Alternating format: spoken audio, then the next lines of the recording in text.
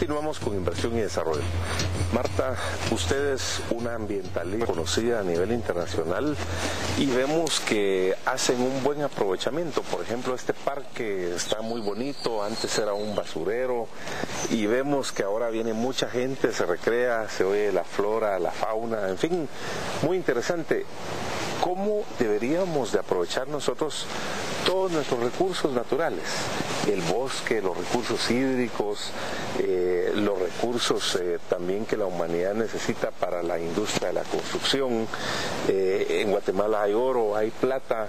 Sabemos que son elementos que a veces causan un poco de ruido.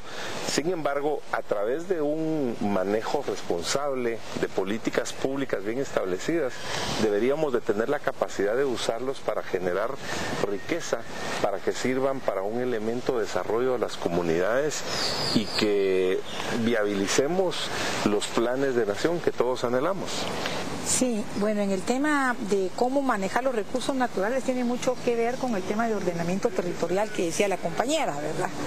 Tenemos áreas donde nosotros tenemos los bosques naturales, por ejemplo el tema de Izabal, tenemos el área de Petén, ¿verdad?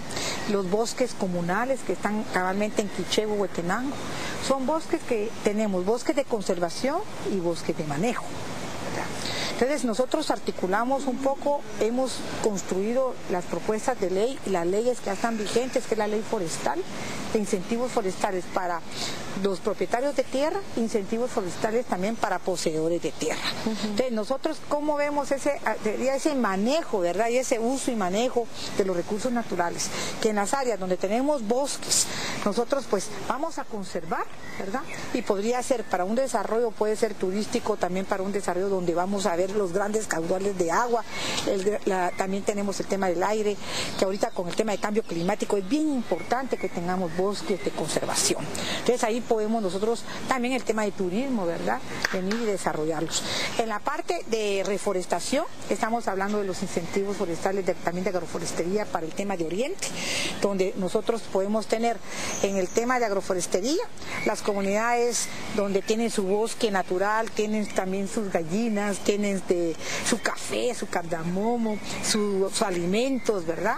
Y entonces eso es bien importante porque se está incentivando que estas personas sigan con ese su manejo tradicional del bosque. Y también tienen su leña y también tienen su manejo de bosque donde pueden venir tener su crecimiento, su raleo.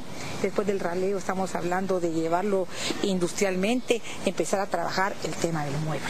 Entonces yo sí creo que media vez tengamos el ordenamiento territorial articulado con las actividades de desarrollo, creo que es lo que queremos todos, ¿verdad? Todos ganar, todas las personas necesitamos trabajo, necesitamos tener también de algo económico para las familias. Un desarrollo humano, necesitamos tener escuelas, necesitamos tener centros de salud, alternativas de trabajo, universidades en el área rural y creemos de que eso es bien importante llevarlos a las áreas y a los territorios de los departamentos de. Y ese es el esfuerzo que tenemos que hacer en todas las sociedades. Marta María, ¿cómo deberíamos hacer para encontrar el camino en ponernos de acuerdo como sociedad en el aprovechamiento de los recursos naturales, en informar adecuadamente, en tener políticas públicas que sirvan para el desarrollo, pero también para bajar los niveles de conflictividad que tenemos en este momento, para dejar esas polarizaciones atrás y que todos de una forma responsable veamos hacia el desarrollo, trabajando en equipo, gobierno central, los alcaldes, los cocodes, los comunes, los codedes, los gobernadores departamentales, las empresas, los comunitarios, para que realmente llevemos las fuentes de empleo que se necesitan en cada una de las áreas. Sí, yo creería que el hecho de ir construyendo estos consensos, realmente tenemos que identificar cuáles son nuestras diferencias y cuáles son nuestros puntos en común. Y que eso nos permite poder identificar cuáles son como las modificaciones que nosotros debemos de desarrollar a las políticas públicas existentes y cuáles son las nuevas que tenemos que ir desarrollando, ¿verdad? Por ponerles un ejemplo, actualmente el tema del cambio climático es un efecto que va a venir a todos los países. Guatemala se caracteriza o está, digamos, en la posición de los primeros 10 países más vulnerables del mundo. Eso significa que idealmente nuestras políticas, tanto de desarrollo, nuestras políticas de manejo de recursos naturales, deberían de integrar un eje de cambio climático, el cual nos sale mucho más barato poder atender la prevención que poder atender una emergencia y luego la rehabilitación de esto, ¿verdad? Entonces, y que así, obviamente, con identificando estas diferencias y estos puntos en común, podamos también poder desarrollar esos beneficios que tiene cada uno de los sectores, ¿verdad? No solamente a nivel de sector, sino también cada uno de los niveles, a nivel comunitario, a nivel municipal y a nivel nacional. Marta María, los jóvenes somos el presente y el futuro de nuestra Guatemala y de nuestra región de América Latina. ¿Qué debemos hacer para enfocarnos y mirar hacia el desarrollo rural para generar ese desarrollo que necesitamos que sea de forma sostenible para toda la región? Bueno, yo creo que lo primero que debemos de hacer es comprometernos como jóvenes, tanto hombres y mujeres, ¿verdad? Que nosotros formamos parte de una sociedad y que somos una parte fundamental para propiciar ese desarrollo desde la especialidad o desde los intereses de cada uno que tenemos, ¿verdad? La otra cosa súper importante es, siempre yo insisto en el tema de conocer, conocer qué es estar en el área rural, conocer qué es estar en el área urbana, porque son dos escenarios completamente diferentes y las dos tienen sus limitaciones, pero las dos también tienen sus oportunidades, ¿verdad?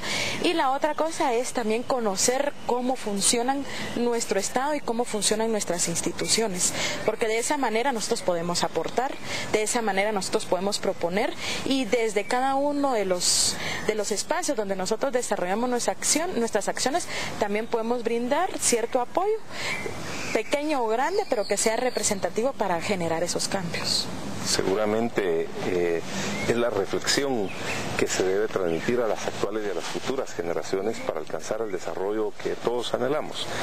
Marta, para concluir, eh, hemos hablado de ordenamiento territorial, eh, de aprovechamiento de recursos naturales, de políticas públicas, eh, de, muchos elementos.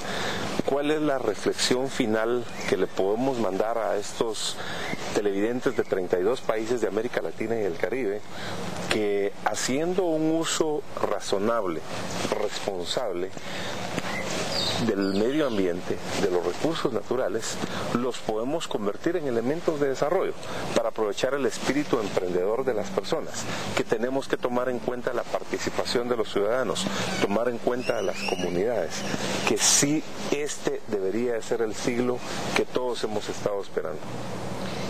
Bueno, yo creo que eh, podemos ver también modelos de desarrollo sostenible en América Latina. Por decirles, tenemos un ejemplo de Brasil, ¿verdad?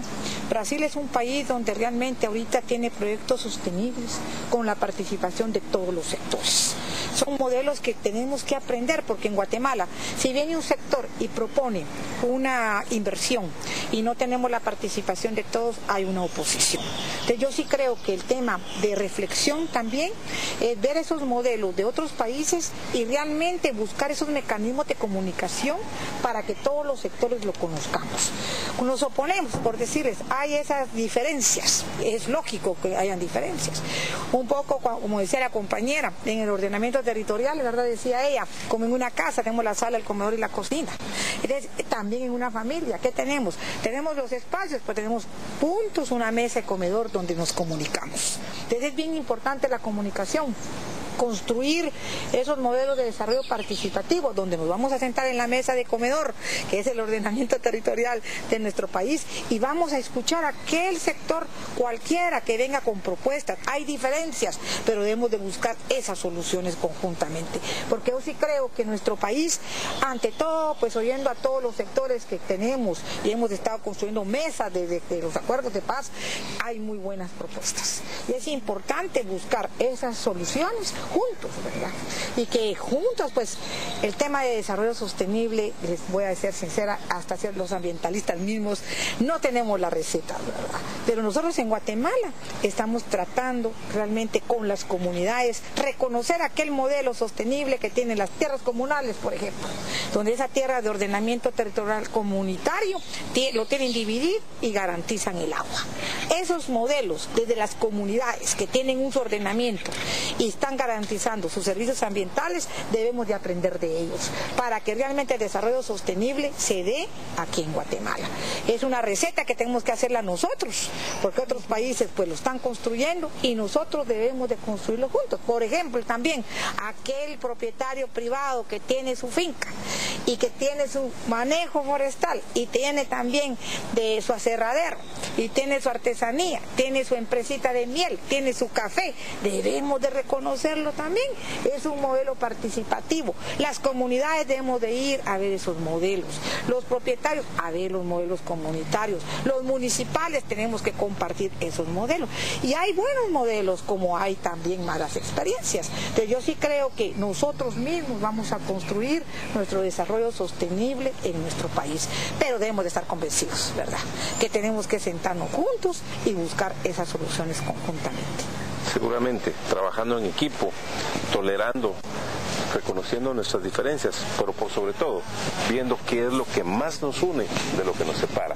Les agradecemos por haber estado en inversión y desarrollo y a ustedes los invitamos la próxima semana para que nos acompañen en un programa tan interesante como el de hoy. Porque eres la tierra donde yo nací.